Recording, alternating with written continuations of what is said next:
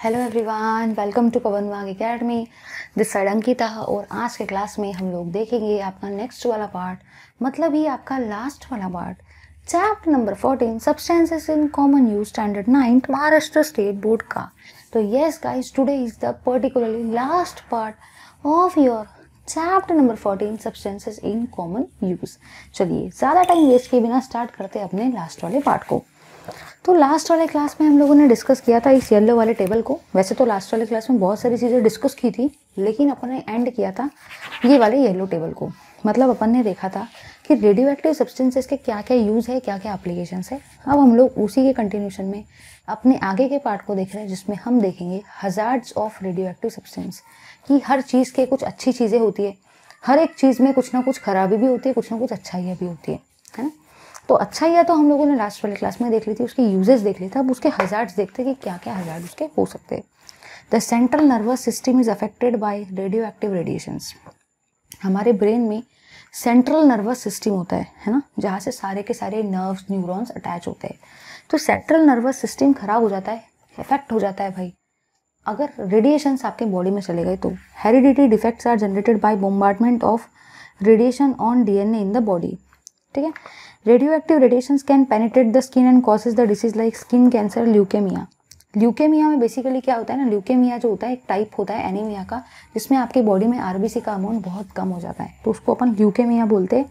और सेकंड होता है स्किन कैंसर अगर वो रेडिएशन आपके स्किन से पास हो जाए तो स्किन कैंसर होने के चांसेस होते हैं। आगे बढ़ते the radiative pollute pollutants created due to explosion enter the body through air and it is difficult to control them ठीक है? जो भी आपकी न्यूक्लियर केमिस्ट्री के इंडस्ट्रीज़ होती है, जहाँ पे न्यूक्लियर केमिस्ट्री पे काम होता है न्यूक्लियर रेडिएशंस का जनरेट करके इलेक्ट्रिसिटी या और कोई एप्लीकेशंस में उसका यूज़ किया जाता है तो वो जो सब्सटेंसेज होते हैं, वो जो पॉल्यूटेंट होते हैं, वो एयर में ऐसे उड़ते हैं। और अगर आप उस एयर के कॉन्टैक्ट में आकर आपने सांस ले ली तो वो पॉल्यूटेंट कहीं ना कहीं आपकी बॉडी में भी एंटर हो गए तो वो आपके लिए बहुत हजारडेस रहेगा और हम उसको फिर कंट्रोल नहीं कर पाते। बहुत सारे डिसीज हो सकते हैं। The radioactive pollutant release in the sea water enter the body of fishes and through them enter the human body मतलब बेसिकली जहाँ पे न्यूक्लियर केमिस्ट्री पे काम होता है, वहाँ पे बहुत सारे रेडियो एक्टिव पॉल्यूटेंट आसमान में उड़ते हैं। जैसे आप लोगों ने देखा होगा, जहाँ पे इंडस्ट्रीज़ होती है, वहाँ पे काफ़ी धुआँ होता है। तो वो धुआँ ऐसे ऐसे निकलता है है ना? इन द सेम फ़ैशन यहाँ पे भी रेडियो एक्टिव पॉल्यूटेंट ऐसे ऐसे लिबरेट होते हैं। अब कुछ लोग क्या करते हैं, उसको नदी में डाल देते हैं वाटर बॉडी में। फिशेस उनको खा लेती है। अब फिशेस ने अगर उनको खा लिया वो रेडियो एक्टिव पॉल्यूटेंट को फिशेस ने खा लिया तो फिशेस तो भाई मरने वाली है नो डाउट लेकिन फिशेस को इंसान लोग भी खाते हैं। मैं तो नहीं खाती हूँ भाई आई एम प्योर वेजिटेरियन लेकिन बेसिकली मैं तो प्योर वेजिटेरियन हूँ, लेकिन बेसिकली जो लोग खाते होंगे, अपन को क्या? तो जो लोग खाते होंगे फिशेस को तो फिशेस के बॉडी में जो वो रेडियो एक्टिव पोल्यूटेंट गए, वो ह्यूमन के बॉडी में भी चले गए। अब कहीं ना कहीं फिर उनको बाद में चल के कुछ डिसीजेस हो सकते हैं। फिर उनको पता चलता है कि अच्छा ये डिसीज ऐसा हुआ तो लेकिन वो समय निकल जाता है। फिर आप उसको कंट्रोल नहीं कर सकते। तो फिशेस अगर कोई ऐसी खराब चीज़ खा लेती है, ऐसे कोई रेडियो एक्टिव पॉलिटेंट खा लेती है फिशेस के बॉडी में गए, भले वो फ़िश मर गई, लेकिन फ़िश के बॉडी में वो radioactive pollutant as it is रहते हैं। जब ह्यूमन बींग उसको खाते हैं तो वो ह्यूमन बींग के बॉडी में जाते हैं और फिर ह्यूमन बींग में डायरेक्ट समझ गए ना? धीरे धीरे अब आगे बढ़ते the radioactive paint on the watch can cause cancer जो भी रेडियो एक्टिव पेंट होता है वॉच के ऊपर में बना हुआ, वो उसके वजह से आपको कैंसर भी हो सकता है। आगे बढ़ते। The radioactive isotopes twenty ninety can enter the body through plants fruits flowers cereals milk and cause the disease like bone cancer ठीक है? चलिए आगे बढ़ते। अब आगे बढ़ते हैं हम लोग some chemical substances in day to day life में। The food that we eat like objects like clothes utensils watch medicine and other object are made up of various kind of matter है ना? तो बस, जितनी भी चीज़ें हम खाते हैं, जितनी भी चीज़ें हम लोग यूज़ करते हैं, वो सब अलग अलग मटेरियल से अलग अलग मैटर से बनती है और वो हमारे हेल्थ को कहीं ना कहीं बहुत अफेक्ट करते हैं। चलिए देखते हैं। अगर मैं बात करती हूँ, अभी तो दिवाली थी भाई। दिवाली है ना अभी तो? तो दिवाली तो बेसिकली कल ही तो दिवाली के समय पे भाई अपन लोग क्या करते हैं? बहुत सारे अलग अलग वो पकवान वगैरह स्वीट स्वीट्स वीट्स खाते हैं ना? देखो, ये स्वीट्स ये स्वीट्स का मस्त अलग अलग कलर होता है। कोई स्वीट ऑरेंज की होती है, कोई स्वीट पिंक होती है। बाप रे, मेरे मुँह में तो पानी आ रहा है भाई। मुझे रहा नहीं जा रहा है यार। इतना खाने की इच्छा हो रही है ना, दिन भर खाना चालू है अभी तो वैसे। लेकिन अलग अलग टाइप के स्वीट्स होते हैं। वो नारियल की बर्फ़ी पिंक कलर वाली, बंगाली स्वीट पिंक कलर वाली ऑरेंज बर्फ़ी, संतरा बर्फ़ी। भाई, संतरा बर्फ़ी तो यहाँ पे फ़ेमस है नागपुर में। तो बेसिकली पेड़ा केसरी पेड़ा तो आप लोगों ने देखा कि सब में अलग अलग कलर है। ग्रीन कलर की मिठाई।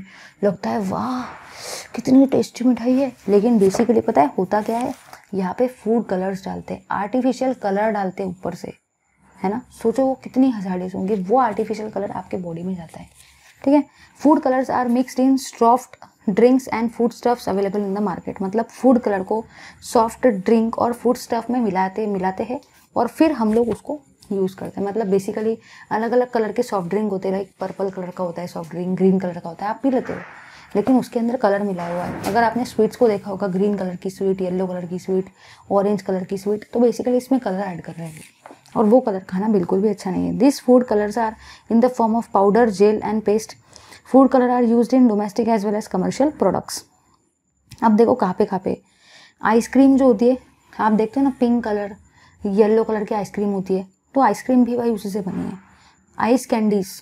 आइस कैंडीज जो होती है अलग अलग कलर की, वो भी उससे सॉस, फ्रूट जूसेस, है ना? कोल्ड ड्रिंक अचार मतलब pickles, jams, jelly, chilli powder, sweet, ये सब में आजकल कलर मिल जाते हैं। अगर आप देखोगे कि बाहर की नूडल्स का देखो कितना अच्छा कलर आता है। रीज़न ये है कि वहाँ पे वो जो चिली पाउडर यूज़ करें ना, चिली पाउडर के साथ में वो रेड कलर का पाउडर भी यूज़ करते हैं। आप अगर बाहर की पाव भाजी खाते हो और घर की पाव भाजी खाओ तो घर में आप जो भाजी बनाते हो, उसको वैसा कलर नहीं आता। और जब बाहर की पाव भाजी खाने जाते हो तो भाई अलग ही लाल लाल कलर की होती है, मस्त वो पाव भाजी वाली भाजी। अब तो बस बिल्कुल ही रहा नहीं जा रहा भाई, पूरा पानी पानी आ रहा है पाव भाजी का नाम सुन के तो बाहर की पाव भाजी का कलर इतना बढ़िया कैसे होता है? मिर्ची तो वो भी डालता है, मिर्ची तो अपन घर में भी डालते हैं, लेकिन वो उसमें लाल चिली का पाउडर डालता है। रेड चिली पाउडर के साथ में वो रेड कलर भी डालता है। रेड कलर इतनी इतनी डब्बी भर के वो डाल देता है। तो उसकी वजह से वो पाव भाजी का कलर तो रेड रेड आता है। आप बोलते वाह वाह, लेकिन वो लाल लाल कलर आप इतना इतना खा लेते उसको क्या है? उसको लगता है ये लोग मर रहे हैं ना, मैं थोड़ी मर रहा। खाओ, खिला दो, अपना तो काम हो जाता है ना भाई। लेकिन ऐसा देखो, ऐसा ऐसा होता है। इसीलिए ये कलर काफ़ी हज़ार डेज़ है। ठीक है, चलो आगे बढ़ते harmful effects of artificial food colours चलिए, अभी हम लोग देखते हैं कि बेसिकली कौन से कौन से अलग अलग टाइप के इफेक्ट्स हमारे बॉडी पे हो सकते हैं। Food colours added to pickles मतलब अचार jam and sauce contain small quantity of lead and mercury सोचो जो बाहर के लोग होते हैं वो लाल कलर का अचार बनाने के लिए, लाल कलर का जाम बनाने के लिए और सॉस बनाने के लिए लीड और मर्क्यूरी का यूज़ करते हैं। सोचो मर्क्यूरी और लीड उसके थ्रू वो कलर डाल रहे तो आप सोचो कितना हजारडियस है। वो this can be harmful for those who consume this product on regular basis अब जो लोग एक दिन में एक आधी बार खा रहे चलो आपने जाम एक महीने में एक आधी बार खाया तो ठीक है। लेकिन अगर आप रोज जाम खा रहे हो रेडीमेड वाला तो उसमें रीड और मर्क्यूरी की इम्प्योरिटी है। उसके थ्रू उसको कलर दिया गया है तो फिर आप क्या करेंगे? रोज अगर खाएँगे तो डायरेक्ट किसी दिन तो। Diseases like A D H D attention deficit hyperactivity disorder can affect children due to excessive consumption of food with added colours ठीक है? आगे बढ़ते हैं। Food colour are natural as well as artificial दो type के food colour होते हैं। Natural और artificial the food colour prepared from seeds beetroot flowers and fruits are natural मतलब जो फ्रूट का कलर आपको फ्रूट से मिल रहा है या बीटरूट से मिल रहा है तो वो नेचुरल है, उससे कोई हजारडिस नहीं है। बट अगर आप, मैं बात कर रही हूँ अगर आर्टिफिशियल कलर की तो जो आप अलग से ऐड करते हैं, वो आर्टिफिशियल रहते हैं। ठीक है? जो आपको नेचर से नहीं मिलते, आपने उसमें ऐड किया है। चलिए अब हम लोग देखते हैं डाई को कि बेसिकली डाई क्या होता है। The colour substance which on applying to an article imparts the colour to the article is called as dye जैसे आप लोगों ने अगर डाई का अगर मैं नाम लूँ तो बहुत जो एजेड लोग जो होते हैं वो बाल को काला करते हैं है ना? ब्लैक कलर के होते हैं या ब्राउन कलर के हेयर्स करते हैं या पिंक आ, पिंक नहीं ब्राउन और उसके अलावा ब्लैक डार्क ब्राउन इटकर कलर, चॉकलेटी ब्राउन कलर, बहुत सारे अलग अलग कलर्स देते हैं अपने बालों को मतलब हेयर्स को। बेसिकली वो डाई अप्लाई करते हैं। तो डाई एक ऐसा सब्सटेंस है, जब आप उसको अप्लाई करते हो तो वो कलर उस चीज़ को मिल जाता है। वो कलर उस चीज़ को इम्पार्ट हो जाता है right generally dye is soluble in water and insoluble in oil वो वाटर में सोल्यूबल होता है ऑयल में इनसोल्यूबल होता है, ठीक है? Plants are the main source of colour for preparing a natural dye depend करता है डाई भी कैसा है। डाई में भी दो वेराइटी है। एक होता है नेचुरल और एक होता है आर्टिफिशियल आर्टिफिशियल में आप बहुत सारे अलग अलग केमिकल कंपाउंड्स यूज़ करते हो बट नेचुरल में जो नेचर प्लांट्स फ्रूट से मिलता है, वो सारी चीज़ें लीव से जो मिलता है, ठीक है? In Kashmir a very good dye is made from saffron which is use to dye fibres from which sari shawls and dresses are made ठीक है? आगे बढ़ते हैं। अब डाइस के भी कुछ यूजेस है और कुछ एडवर्स इफ़ेक्ट है, उनको डिस्कस कर लेते हैं। Dyes are use for colouring cloth and hair cloth को कलर करने के लिए आपने देखा होगा ना कलर्स होते हैं, जैसे आप कपड़े लाते हो तो कुछ कपड़ों को धोते वक्त वॉश करते वक्त, उसमें से काफ़ी कलर निकलता है। तो वो बेसिकली वो डाई निकलता है, क्योंकि कलर पे भी कलर पे क्लॉथ पे भी डाई अप्लाई किया जाता है। हेयर्स पे भी बहुत लोग डाई अप्लाई करते हैं। अब डाई अप्लाई करने के बाद क्या, ज़िंदगी भर उनके बाल काले रहते क्या? नहीं। कुछ समय तक रहते, कुछ समय के बाद वो काले निकल जाते, फिर वापस काला करना पड़ता है। तो वो जो परमानेंट नहीं होता, वो टेम्परेरी रहता है। ठीक है? आगे बढ़ते हैं। Fluorescent colours are use to make street boards that are visible at night है ना? तो कुछ डाइज जो होते हैं मतलब कुछ ऐसे फ्लूओरेसेंट कलर रहते हैं, जैसे कि आप लोगों ने देखा होगा ट्रक पे या कुछ रोड पे या नीचे रोड पे सिंबल जो बने होते हैं, वो ऐसे कलर के बने होते हैं, जब लाइट चले जाती है तो शाइन मारते हैं वो। तो वो होते हैं आपके फ्लूओरेसेंट कलर्स वो भी एक टाइप का डाई है। Dyes are use to polish leather to shoes shoes में आप लोग पॉलिशिंग करते हो, वो भी डाई है।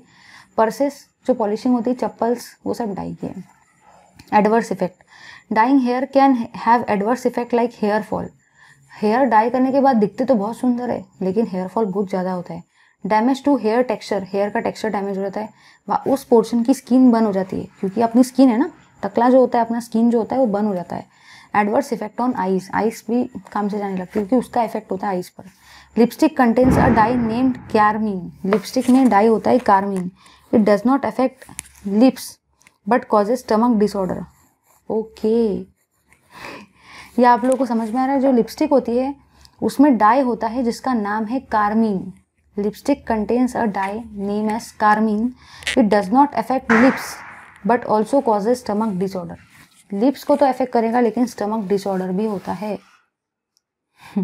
ठीक है? मुझे भी थोड़ा डर लग रहा है कि मैं रेगुलर लिपस्टिक यूज़ करती हूँ। आगे बढ़ते हैं। Excessive use of plants for making natural dye result in the deterioration of environment ठीक है? आगे बढ़ते आर्टिफिशियल कलर्स को। We regularly use artificial colours on Rang Panchami decorating the house by painting red colour use on Rang Panchami is very dangerous मतलब हम लोग होली वगैरह खेलते हैं ना, पता है ना भाई? वसंत पंचमी, रंग पंचमी। होली होली मतलब ही रंग पंचमी हुआ। तो अपन काफ़ी कलर लगाते हैं ना, खूब मस्त कलर वगैरह लगाते हैं अपन लोग। अब कलर लगाने के बाद तो ठीक है, लेकिन उसके अलग अलग साइड इफ़ेक्ट देखो कैसे होते हैं। देखो यहाँ पे आपको अलग अलग कलर दिख रहे हैं। स्किन पे ऐसे बर्न्स होते हैं वार्निश वार्निश जो पड़ते हैं ना अपन लोग, इसका नतीजा ये। We regularly use artificial colours on Rang Panchami decorating house by painting the red colour use on is very dangerous red colour में हाई प्रपोर्शन होता है मर्क्यूरी का। The this poses risks like blindness skin cancer asthma itching of skin permanent blocking of sweat pores मतलब अगर आप बहुत ज़्यादा आपको किसी ने कलर लगा दिया तो उसका नतीजा ये होगा कि अंदर के जो पोर्स है, जहाँ पे स्वेटिंग होती है मतलब जहाँ से पसीना निकलता है, वो परमानेंटली ब्लॉक हो जाते हैं। तो स्किन डेटोरेट होना चालू हो गया। काफ़ी ईचिंग होती है। स्किन कैंसर होने के चांसेस है, ठीक है? चलिए, आगे बढ़ते हैं।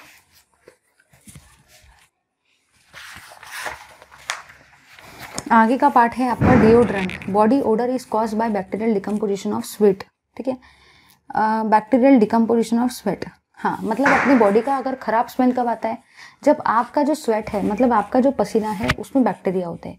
पसीने में जो बैक्टीरिया होते हैं, अगर वो बैक्टीरिया डिकम्पोज होना स्टार्ट हो जाए तो अपने बॉडी का काफ़ी स्मेल आता है। तो बॉडी का स्मेल क्यों आता है? क्योंकि जो हमारा स्वेट होता है, जिसमें बैक्टीरिया होते हैं, अगर वो डिकम्पोज होना चालू होते हैं तो काफ़ी स्मेल आता है। और deodorant is use to prevent this odour हम लोग क्या यूज़ करते हैं? डिओड्रेंट को यूज़ करते हैं ना? ऐसा यूज़ करते हैं। तो बेसिकली उससे क्या होता है? उससे आपके बॉडी का स्मेल नहीं आता और अच्छा स्मेल आता है। Everybody likes a fragrant deodorant to remain fresh the whole day सभी को लगता है कि वाह यार, पूरे दिन अच्छा अच्छा खुशबू आ रहा है। School children use deo on large scale school children को तो आजकल ज़्यादा ही ट्रेंड है। This large scale use of deo in adolescent is a result of the advertisement shown on television अरे भाई, खतरनाक वाली वो एडवर्टाइजमेंट करते हैं लोग। पता है ना, मुझे ज़्यादा बताने की ज़रूरत नहीं है। Deodorant contains parabens methyl ethyl propyl benzyl and butyl alcohol in large proportion. Aluminium compounds in silicon are also used. Ordinary do contains only a small portion of aluminium. It decreases the odor of sweat. ठीक है? मतलब ordinary जो deo है, वो सस्ते वाले जो do रहते हैं, उसमें बहुत कम अमाउंट होता है एल्यूमिनियम का। एंटी परस्पिरेंट डीओ डीओ का सेकेंड टाइप है antiperspirant deo this decreases the extent of sweating मतलब ये जो डिओड्रेंट रहते हैं, अगर आपने इनको लगाया तो कुछ समय के बाद तो पसीना ही आना बंद हो जाएगा आपको। It decreases the it contains fifteen percent aluminium chlorohydrate सोचो। इसमें पंद्रह परसेंट एल्यूमिनियम क्लोरोहाइड्रेट होता है। It clogs the sweat pores on the skin मतलब ये डिओड्रेंट देखो कितना खतरनाक है। ये एंटी परस्पिरेंट डिओ है, जिसका स्मेल तो बहुत ज़्यादा खतरनाक होता है, बहुत ही अच्छा होता है, आपको अच्छा लगता है। लेकिन उसके अंदर में बहुत 15 परसेंट अमाउंट में एल्यूमिनियम क्लोरोहाइड्रेट होता है, सोचो। जब आपने उसको मारा ना तो आपके परमानेंटली जो पसीने जहाँ से निकलते हैं, वो जो पोर्स होते हैं ना छोटे छोटे अपने स्किन में छोटे छोटे पोर्स होते हैं जहाँ से पसीना या स्वेट निकलता है, वो परमानेंटली बंद हो जाएगा और कभी पसीना नहीं निकलेगा। सोचो, अगर पसीना नहीं निकलेगा तो अंदर के अंदर में कितने प्रॉब्लम्स हो सकते हैं, ठीक है?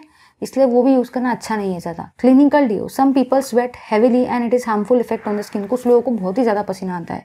तो clinical deo is mean for such people it consent it contains twenty two twenty five percent aluminium it is use during the night times आगे देखते हैं। Harmful effect aluminium zirconium compound the most harmful chemical in the deodorant ठीक है? बहुत harmful है। Disorders like headache अगर बहुत ज़्यादा ये आप पसीने इसको सुन लो ना तो इसका डिसऑर्डर ये होता है कि आपको हेडेक होना चालू हो जाएगा। बहुत आपका सर दुखेगा asthma respiratory disorder heart disorder ये आपको होने के बहुत ज़्यादा चांस है, ठीक है? आगे बढ़ते हैं। कभी कभी आप लोगों ने देखा होगा, अगर कोई बहुत ज़्यादा परफ्यूम मारता है और आप उसे कॉन्टैक्ट में जाते हो तो कुछ समय के बाद आपका सर दुखना चालू हो जाता है। हेड एक होना चालू होता है, ठीक है? आगे बढ़ते हैं। There is a possibility of various skin orders skin cancer भी हो सकता है। चलिए, आगे बढ़ते हैं। टेफ्लॉन टेफलॉन देखते हैं टेफलॉन क्या होता है? Teflon Teflon is use for coating utensils coating cooking utensils and industrial equipment to avoid sticking जैसे कि आपका नॉन स्टिक पैन होता है ना, जिसमें आप लोग डोसा बनाते हो, जिसमें आप लोग उत्तपम बनाते हो, जिसमें आप लोग बहुत सारी अलग अलग टाइप की चीज़ें बनाते हो। डोसा, उत्तपम पानी आ रहा है भाई मेरे मुँह में। तो वो टेफलॉन का कोटिंग होता है, जिससे वो चीज़ आपके उसको स्टिक नहीं होती। जैसे आप जब डोसा बनाते हो तो वो डोसा उस तवे को चिपकता नहीं है। क्यों? क्योंकि वहाँ पे anti reflecting anti stick coating होती है नॉन स्टिक कोटिंग होती है नॉन स्टिक पैंस बोलते हैं ना हम लोग। तो वो डोसा बनते से अपने आप ऊपर आ जाता है, क्योंकि वो उस सरफेस को स्टिक नहीं होता। It is the polymer of tetrafluoroethylene ये चीज़ आपको chapter number fifteen polymer chemistry standard twelfth में आने वाली है। हुँ? आगे its chemical name is C two H F four n time आगे बढ़ते हैं प्रॉपर्टीज़ और यूजेस की तरफ़। जो भी आपका प्रॉपर्टीज़ होती है atmosphere and chemical substances have no effect on Teflon ठीक है? जैसे आप लोगों ने देखा होगा कि नॉन स्टिक पैन जो होते हैं, वो वैसे के वैसे रहते हैं। ऐसा तो नहीं ना कि बारिश आई तो वो पूरा ये हो गया। ऐसा थोड़ी रहता है, वो वैसा का वैसे रहता है। नो इफ़ेक्ट रहता है on environment neither water nor oils will stick to Teflon coated particle आप उस पर पानी डालो या आप उस पर ऑयल को डालो, वो स्टिक ही नहीं होता, क्योंकि वो नॉन स्टिक कोटेड होते हैं। Temperatures do not affect Teflon at, at uh, as is as its melting point is 327 degree Celsius तो आप लोगों ने देखा होगा कि नॉन स्टिक पैंस जो रहते हैं आप उन पर पानी डालोगे तो भी उन पर कोई भी फ़र्क नहीं पड़ता है क्योंकि वो पानी पे भी स्टिक पानी को भी स्टिक नहीं करते। आप उसमें ऑयल डालो डोसा बनाते वक्त तब भी वो स्टिक नहीं करता है। या आप उसको गैस पे गर्म करते हो डोसा बनाते वक्त तो गैस चालू रखते हो तो वो गर्म होता है तो कोई फ़र्क पड़ता है क्या? नहीं क्योंकि उस पर हीटिंग का भी कोई इफ़ेक्ट नहीं पड़ता है। And Teflon coated articles are very easy to clean अब भाई बहुत इजीली आपको क्लीन हो जाते हैं। घसना नहीं पड़ता है ज़्यादा। क्यों? क्योंकि चिपकता ही नहीं कुछ। Uses. Teflon is a poor conductor of electricity. Therefore, teflon cladded wires and parts used in high technology electronic equipments. हम लोग इसको इंसुलेटर्स की तरह भी यूज़ कर सकते हैं क्योंकि ये पुअर कंडक्टर होता है इलेक्ट्रिसिटी का। It is use for making non stick kitchen waste जैसे कि अभी बताएँ non stick pan non stick dosa तवा हाँ अलग अलग टाइप के नॉन स्टिक पैंस होते हैं तो coloured metal sheets of two wheelers and four wheelers are give are given a Teflon coating to protect them from damage due to high temperature and rain तो जो भी आपके four wheelers होते हैं four wheelers में और two wheelers में coloured metal sheet होती है। ठीक है कलर्ड मेटल शीट जो लगी होती है ना, जैसे बीच में, देखो, ये आपका सपोज़ ये व्हील है। तो व्हील जो होता है व्हील तो ये है भाई लेकिन व्हील के सेंटर पे एक मेटल की प्लेट होती है। इस मेटल की प्लेट को आप लोग, ये देखो शाइन करती है। इस मेटल की प्लेट को आप लोग कोटिंग करवाते हो किसकी? आप लोग इसको कोटिंग करवाते हो नॉन स्टिक चीज़ की मतलब ही टेफलॉन की। ठीक है, आगे बढ़ते हैं। अब हम लोग देखते हैं पाउडर्ड कोटिंग को। Powder coating is a method of applying a layer harder than paint on the surface of an iron object to prevent rusting आप लोगों ने देखा होगा, जो आयरन होते हैं, उसके मटेरियल उसके जो यूटेंसिल्स होते हैं, या आयरन की जो सलाख है, वो कुछ समय के बाद रस्ट होना चालू होती है। एक रेडिश ब्राउन कलर का रस्ट डेवलप होता है, ठीक है? तो अब हम लोग क्या करते हैं, हम लोग उसको पाउडर की कोटिंग दे देंगे।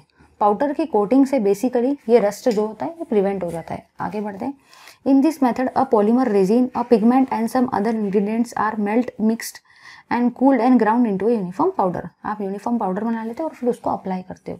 तो बेसिकली वो पाउडर अप्लाई करने से अगर आप आयरन के मटेरियल को रख भी देंगे तो वो बेसिकली रस्ट नहीं होगा क्योंकि आपने उसको पेंट अप्लाई करके या किसी पाउडर का कोटिंग अप्लाई करके उसको रस्टिंग से प्रोटेक्ट करेंगे क्योंकि अब वो उसका सरफेस ऑक्सीडाइज नहीं हो पाएगा ठीक है This powder coating is highly durable, hard and attractive. Powder coating can be done on plastic medium density fibers also.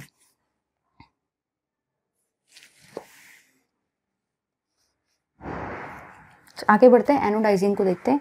A protective layer is form naturally on the surface of aluminium metal by reaction with oxygen in air तो आप लोगों ने ये देखा होगा कि जो भी ऑक्सीजन एल्यूमिनियम के जो यूटेंसिल्स होते हैं, वो उस पर एल्यूमिनियम ऑक्साइड की एक लेयर बन जाती है है ना? जब वो ऑक्सीजन के कॉन्टैक्ट में आता है। तो in the anodising process this layer can be made of desired thickness anodising is done by electrolysis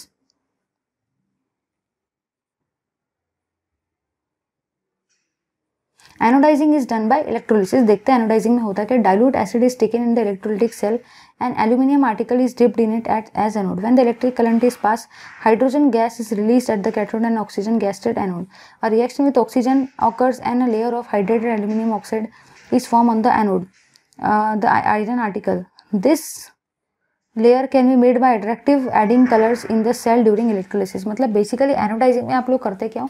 aluminium oxide के लेयर को अप्लाई करते हो। यहाँ पे भी आप आयरन के ऊपर में करेंगे क्योंकि आयरन बहुत इजीली रस्ट हो जाता है। तो अब अगर आयरन का रस्टिंग प्रिपेयर प्रिवेंट करना है तो पहला मेथड था पाउडर कोटिंग पाउडर को या किसी पेंट को आप अप्लाई कर दो। तो वो रस्टिंग नहीं हुआ। सेकेंड मेथड है एनोडाइजिंग एनोडाइजिंग में मैंने आपको क्या बताया कि बेसिकली आप वहाँ पे एल्यूमिनियम ऑक्साइड का लेयर डिपॉजिट करेंगे इलेक्ट्रिक करंट इलेक्ट्रोलिसिस करवा के आयरन के सरफेस पर। तो अब इस, अब इससे भी फिर आयरन का ऑक्सीडेशन नहीं होगा, वो एनवायरनमेंट के कॉन्टैक्ट में नहीं आएगा और रस्टिंग प्रिवेंट हो जाएगी।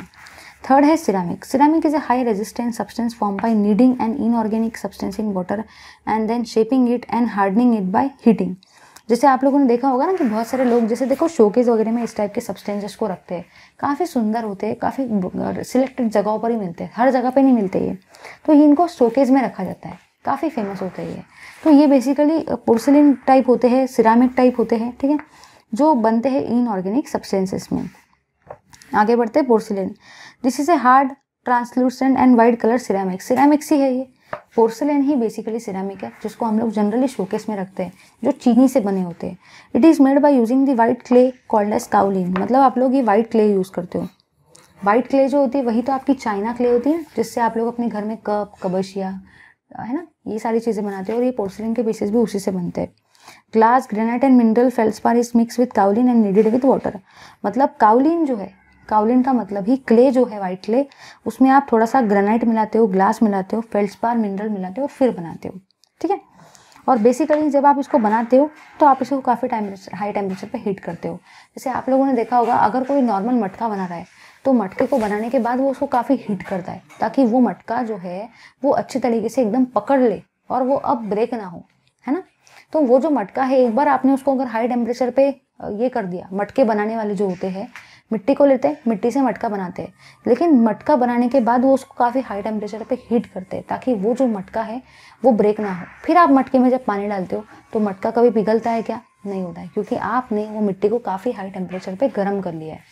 इन द सेम फ़ैशन जो पोर्सिलिन के सब्सटेंसेज होते हैं, जो आप शोकेस में रखते हो नो डाउट उसमें आप वाइट क्ले और केओलिन का तो यूज़ करते हो, उसमें आप ग्रेनाइट डालते हो ग्लास डालते हो फेल्सपार डालते हो मिक्स करते हो, बनाते हो, लेकिन बनाते समय, बनाने के बाद आप उसको भी हाई टेम्परेचर पे हीट करते हो। Bone china bone china is made by adding some ash of animal bodies in the mixture of china clay china clay में आप जो भी डेड बॉडीज होती है एनिमल्स की, उनको हीट करने के बाद जो ऐश बनती है, वो भी डालते हो, ठीक है? उससे आपका बनता है बोन चाइना फिर है advance ceramics like oxides like alumina zirconia silica alumina का फॉर्मूला होता है एल टू थ्री जिरकोनिया का Z R O two silica का S I O two and some other compounds like silicon carbide like S I C boron carbide are use instead of clay for making advance ceramic ठीक है? आगे बढ़ते अब देखते हैं ceramics को। Page number 162 पे आ जाओ। इसको डिस्कस करते हैं ब्लू सेक्शन को। Ceramic can withstand high temperatures without decomposing है ना? ये बहुत ज़्यादा हाई टेम्परेचर को विस्टैंड कर सकते और इनका डिकम्पोजिशन नहीं होता। Ceramic is brittle water resistance and act as an electrical insulator ceramic brittle nature का होता है। अगर वो गिरेगा तो वो ज़रूर टूटेगा। तो आप लोगों ने देखा होगा कि जो चीनी की चीज़ें होती है, अपने घर के कप को ही देख लो, या घर में कोई डेकोरेटिव चीज़ है उसको देखो। वैसे तो वो बहुत हार्ड है। आप उसके ऊपर पानी भी डालेंगे तो वो मेल्ट नहीं होने वाला। लेकिन अगर वो ऊपर से नीचे गिर गया तो भाई वो ब्रेक हो जाता है। मतलब वो ब्रिटल तो है, लेकिन पानी के ऊपर उसका कोई भी इफ़ेक्ट नहीं होता। और इलेक्ट्रिसिटी के भी ऊपर कोई इफ़ेक्ट नहीं करता? मतलब ही वो पुअर कंडक्टर इलेक्ट्रिसिटी का? मतलब आप उसको इलेक्ट्रिक इंसुलेटर की तरह भी यूज़ कर सकते वाटर रेजिस्टेंट सब्सटेंस की तरह भी यूज़ कर सकते, लेकिन वो गिरेगा तो ज़रूर टूटेगा मतलब वो ब्रिटल नेचर का है। Therefore it is use in electrical instruments for coating the interior of a clean आगे देखते हैं। Outer surfaces of ships blades of jet engine है ना? ये सब पे आप उसका कोटिंग करवाते हो और certain type of ceramic tiles are fix on the outer layer of space shuttle some types of ceramic are also use as super conductor ठीक है? तो ये बेसिक से अप्लीकेशन थे। यहाँ पे आपका ये वाला चैप्टर होता है खत्म. Thank you very much for watching this video यहाँ पे मेरा नाइन्थ स्टैंडर्ड का सिलेबस भी होता है पूरी तरीके से कंप्लीट तो नाइन्थ स्टैंडर्ड में जितने भी साइंस वन के चैप्टर्स थे that all I have discuss and science two chapters will be had been taken by Deepti ma'am so ठीक है? So basically science one and science two they are club in the book together in a single book together so basically there were science one chapters science one chapters I have completed all today. Here uh, your this chapter also end and not only this chapter ends but basically here your 9th standard syllabus also ends by me and basically Dipti ma'am have taken all the science 2 chapters so hereby your 9th standard syllabus completes thank you very much for watching this video keep watching my video like तो भाई बनता ही है like कर दो share कर दो comment कर दो thank you very much